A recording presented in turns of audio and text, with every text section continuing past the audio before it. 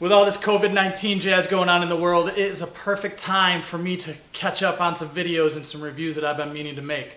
So today we're gonna take a look at the Triple Aught Design Meridian Transport Case 40 liter. Ah, this thing's heavy.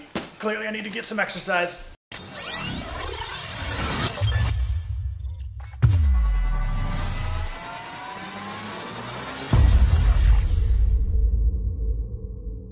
Welcome back friends. So I finally got my hands on one of my unicorn bags, the Triple Aught Design Meridian Transport Case 40 liter.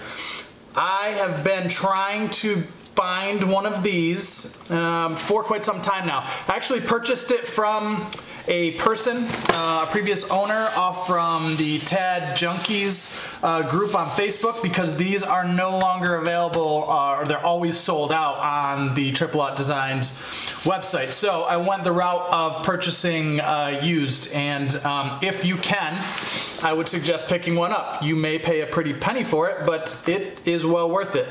So how I have this packed out currently is with um, a scenario that I typically would travel with, which would be two to three business days. Um, I typically like to travel as light as possible and uh, usually that means one bag carry if I'm actually on vacation or traveling for personal uh, reasons.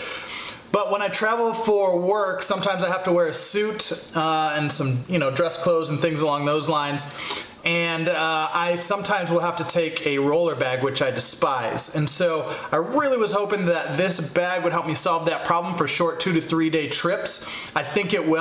I think it will. I put together a representative um, pack out of what that would look like um, and how it would fit in this bag, and I'm going to share that with you all. Before we dive into the bag insides itself, let's go over a couple of the details of the bag. So the bag is 21 inches long, 13 inches wide, and when it's fully expanded, it is 8 inches, I guess, deep. Um, it is made of VX21 the sailcloth, so if you're familiar with much of the other Triple Aught design packs, the VX is, is one of my favorite favorites. Sure, it's a little loud, but the durability of this uh, material is, is amazing. Waterproof, extremely abrasion resistant. So the shell is VX21. The inner lining is a VX03 uh, liner that is a lot louder than the exterior. Um, and if you look at my uh, Axiom uh, 24 review, you'll see the inside, what that looks like. That is also the VX3 liner, and again, exterior on most of the bags are the VX21 uh, shell. It's great. Again, it is the 40 liter. It is 72 ounces empty.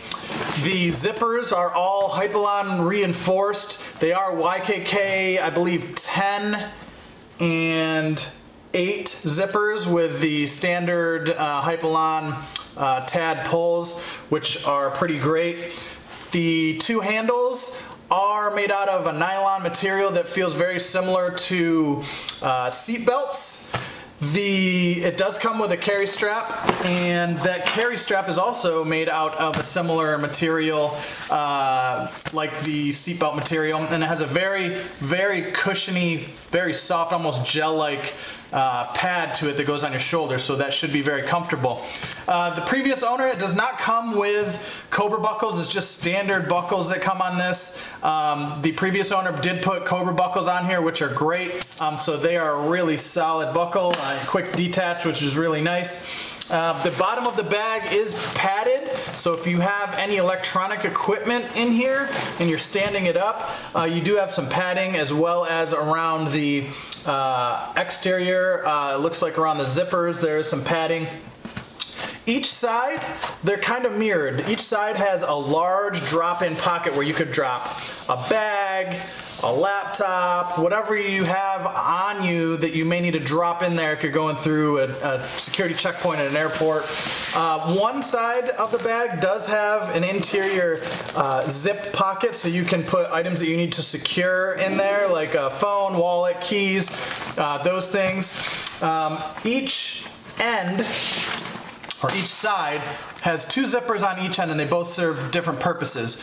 One side has the removable backpack straps, or I'm sorry, the tuckable backpack straps. So you can, if you need, if your hands are full and you need to turn this into a backpack so that you can have full mobility with your hands, you can do that. I don't see myself needing that option, but uh, if I did, it is a nice thing to have. Uh, the straps are very thin. There's minimal padding in them, so um, I would um, not recommend carrying it for long periods of time, but it's definitely doable. So that's one side. The other side is almost exact mirror, but it does not have straps built into it. It basically has two compartments that overlap each other and go all the way from one side to the other. Now they do not connect. I thought that they did initially, but they do not actually connect. They're two separate compartments. Uh, I'm not sure the intended use for those, but obviously you can stash things in there, laptop, uh, things along those lines um, if you wanted to. You could unzip one side and drop it on top of your uh, roller luggage, but um, it's not really gonna be too comfortable to carry. I thought maybe it would go all the way through if you wanted to drop it on a roller uh, bag. But two separate packs, two separate pockets. Okay, let's take a look at the inside, but before we do that, I want to show you kind of the difference between the compartments. So it has three compartments, as you can kind of see here by the zippers, how they're spaced out. So you have one medium compartment that comes from this side, the zipper here, and it's about this thick right here. So probably about two inches, two to three inches thick, which is uh, really nice. So medium sized compartment on this side, a smaller size compartment on this side, which is just about an inch thick, but of course it expands based on the material. And then you have the middle compartment, which is about four to five inches thick, and that's kind of the, uh, the cavernous area that really holds a lot of your um, clothing or gear that you're bringing along with you. So you can see they've kind of thought out um, sizing differences uh, for the bag itself. So let's go into it. This first side, the medium side, is actually carrying a um, sport jacket uh, in a kind of a little mini garment bag. This sport jacket um, and this garment bag um, will work for a single suit for me. And that fits perfectly in there with the hanger on it on the medium size. And I, uh, I like that. I anticipate that's exactly what I'm gonna use for um, traveling for work.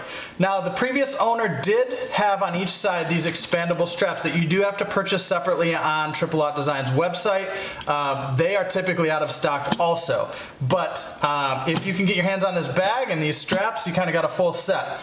Each compartment, inner compartment, has four Hypalon reinforced buttons as well as a row of four uh, Hypalon loops on the top and bottom of each section to use for many of the TAD accessories, right? So they make um, a loop panel that you can place in here to attach Velcro backed uh, gear. I think the opposite side of that loop panel is MOLLE, so you can attach MOLLE gear in here. You can attach a CP1 uh, onto the Hypalon loops on each side. You can attach any of their pockets. Um, multiple configurations that you can use with TAD gear um, that really just make this, this flexible. And so they give you those options to uh, customize your bag for whatever your mission or travel needs may be, which is great. That being said, you're going to spend some money on the accessories, so kind of prepare for that and think it out um, before you do that. Uh, on the topic of money, this bag, if you can find it, is going to cost you probably more than what they originally um, the MSRP for the bag is. So kind of keep that in mind. I was willing to pay uh, extra for the bag because I really um, have had my eye on this for a long time and I missed out on the actual um, original sale from Triple Aught Design. And so uh, I did it anyways. All right, into the main compartment. The main compartment that I had mentioned is quite large. Um, it is about four inches deep, it looks like.